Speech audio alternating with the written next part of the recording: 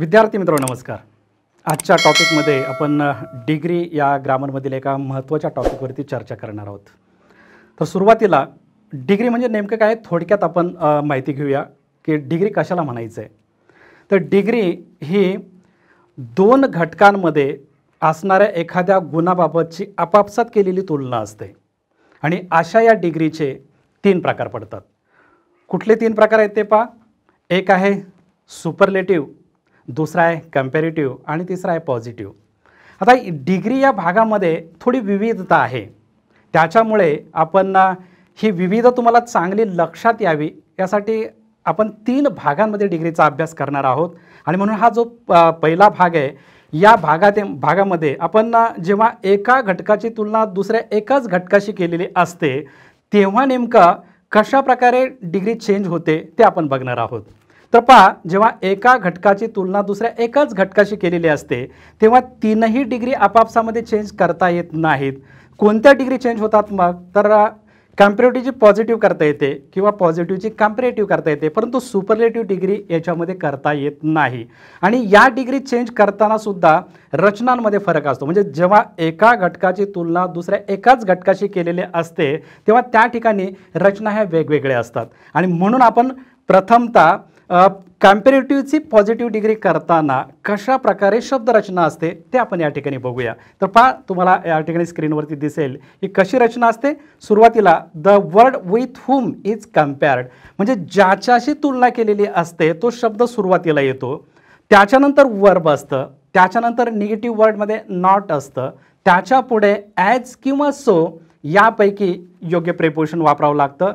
त्याच्या पुढे positive form of adjective किंवा ॲडव्हर्ब म्हणजे त्या ॲडजेक्टिव्ह किंवा ॲडव्हर्बचा पॉझिटिव्ह फॉर्म वापरायचा असतो. म्हणजेच त्या ॲडजेक्टिव्हचं मूळ रूप असतं त्या ठिकाणी. त्याच्या पुढे ॲज येतं. त्याच्या पुढे the word who is compared म्हणजे ज्याची तुलना केलेली आहे तो शब्द येतो. थोडक्यामध्ये सांगायचं म्हटलं तर जसं आपण ड- याच्यामध्ये ॲक्टिव्ह पॅसिव्हमध्ये पाहिलं जशा तिथे ऑब्जेक्ट आणि सब्जेक्टच्या जागा चेंज होतात तसं इथे सुद्धा ज्याच्याशी तुलना केलेली आहे तो शब्द सुरुवातीला येतो आणि ज्याची तुलना केलेला आहे तो शब्द नंतर येतो किंवा कॅम्परेटिव्हची आपण जेव्हा पॉझिटिव्ह करत असतो तेव्हा. आता आपण पॉझिटिव्हची कम्पॅरेटिव्ह डिग्री करताना तिथे काय शब्दरचना असते ती बघा स्क्रीनवरती दिसते तुम्हाला. तर तिथे the word who is compared म्हणजे ज्या शब्दाची तुलना केलेली आहे तो शब्द त्यानंतर वर्ब त्यानंतर कम्पॅटिव्ह फॉर्म ऑफ ॲडजेक्टिव्ह किंवा ॲडवर्ब म्हणजे ॲडजेक्टिव्ह किंवा ॲडवर्बचा कम्पॅरेटिव्ह फॉर्म वापरतात. पुढे द्यान येतं आणि द्यानंतर आपल्याला वापरायचं असते ज्याच्याशी तुलना केलेली आहे तो शब्द म्हणजे जिथे जसं इथे म्हटलं आहे the word with whom is compared आत्ता आपल्याला या डिग्री आपापसामध्ये चेंज होताना ॲडजेक्टिव्हमध्ये नेमका किंवा ॲडवर्बमध्ये नेमका काय बदल होतो किंवा का कशा प्रकारे ॲडजेक्टिव्हला कधी ई आर लावायचं असतो कॅम्परेटिव्ह डिग्रीमध्ये किंवा कधी ई आर लावणं शक्य नसतं याविषयी आपण थोडक्यामध्ये माहिती पाहणार आहोत. तर पहा काही ॲडजेक्टिव्हची रूपं अशी आहेत की ज्यांना ई आर लागतो परंतु काही अशी रूपं आहेत की ज्यांना ई आर कॅम्परेटिव्ह डिग्रीमध्ये लावता येत नाही. उदाहरणार्थ पहा या ठिकाणी काही उदाहरणं स्क्रीनवरती तुम्हाला दिसत आहेत. तर ह्या उदाहरणामध्ये पहा एक गुड आहे गुडचं बेटर बनतं. किंवा दुसरं आहे फास्ट फास्टचं फास्टर होतं. पण जर कनिंग हे ॲडव्हर ॲडजेक्टिव्ह त्या ठिकाणी असेल तर तिथे असं कनिंगर वगैरे होणार नाही. तर त्या ठिकाणी आपल्याला कनिंगच्या अगोदर मोर लावावं लागेल.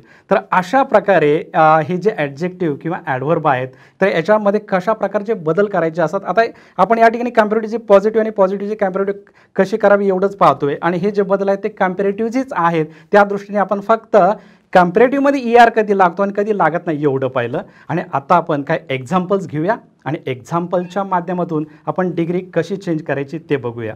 आता पहा तुमच्यासमोर या ठिकाणी एक एक्झाम्पल आहे. Anuj is better sports student than Suraj. He degree आहे आणि ही कम्पॅरेटिव्ह डिग्री आहे. तर या डिग्रीला आपल्याला पॉझिटिव्हमध्ये करताना आता मी तुम्हाला जो फॉर्म्युला सांगितलेला आहे अगोदर तर त्या फॉर्म्युल्याप्रमाणे आपल्याला ते बदल करायचे आहेत. म्हणजे पहा ज्याच्याशी तुलना केलेली आहे तो शब्द आपल्याला सुरुवातीला घ्यायचा आहे. तर अनुजची तुलना सूरजशी केलेली आहे. म्हणून सूरज आपण सुरुवातीला घेणार आहेत. सूरज आपण सुरुवातीला घेतलं आहे त्यानंतर आपल्याला वर्ब वापरायचे आहे, ते इज आहे. त्यानंतर फॉर्म्युल्यामध्ये आपल्या नॉट आहे. ते नॉट घेतलेलं आहे. फॉर्म्युल्यामध्ये ॲज आहे. त्याच्यानंतर ते ॲज घेतलेलं आहे. आणि पॉझिटिव्हमध्ये या ठिकाणी पहा गुड हा शब्द या ठिकाणी बेटरचं आपल्याला पॉझिटिव्ह फॉर्म घ्यायचा तो गुड होतो तो घेतलेला आहे. गुड स्पोर्ट्स स्टुडंट आणि त्याच्यानंतर ॲज घ्यायचं आपल्याला ते घेतलेलं आहे. आणि त्याच्यानंतर आपण ज्याची तुलना केलेली आहे तो शब्द आहे अनुज. अशा प्रकारे शब्दांच्या जागा बदलून काय वाक्य तयार झालं या ठिकाणी पहा. Suraj is not as good sports student as Anuj. अशा प्रकारची ही पॉझिटिव्ह डिग्री झालेली आहे. आता आपण दुसरा एक्झाम्पल बघूया.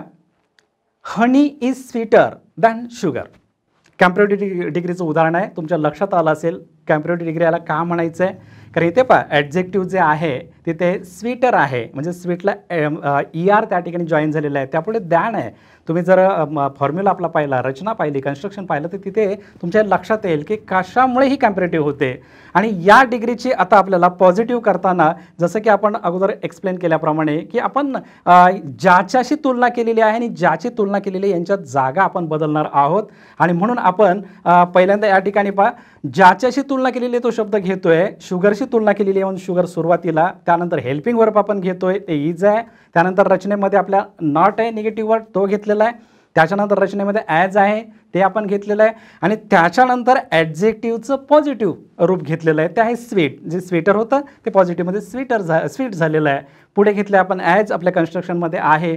आणि शेवटी आपण ज्याची तुलना केलेली आहे तो शब्द हनी घेतलेला आहे. आणि रचना कशी झालेली आहे पा sugar is not as sweet as honey अशा प्रकारचे हे पॉझिटिव्हचं उदाहरण झालेलं आहे. तर याच या कन्स्ट्रक्शनप्रमाणेच तुम्हाला बदल करायचे आहेत. कारण पहा एका घटकाची तुलना जेव्हा अनेकांशी असते तिथे कन्स्ट्रक्शन वेगळी असते. आणि म्हणून विद्यार्थ्यांचा या ठिकाणी गडबड होऊ नये कन्फ्युजन होऊ नये. म्हणून आपण तीन पार्टमध्ये डिग्री हा भाग घेतलेला आहे. त्यातला हा जो पहिला पार्ट आहे तो पार्ट हा आपण एका घटकाची तुलना दुसऱ्या एकाच घटकाशी असताना काय काय बदल होतात त्याच्याशी संबंधित झालेला आहे. माझी खात्री आहे की अशा प्रकारे जे एक्सप्लेन आपण या ठिकाणी केलेलं आहे ते निश्चित तुम्हाला समजलेलं असेल. आणि या संबंधीचे म्हणजे डिग्रीचा जो दुसरा पार्ट आहे तोही आपण डिग्री हा भाग व्यवस्थित समजण्यासाठी नक्कीच आपण पुढच्या व्हिडिओमध्ये पाहावा. आणि त्या डिग्री या भागाला व्यवस्थित समजून घ्यावं. आणि अशा प्रकारे या ठिकाणी आपण थांबतोय.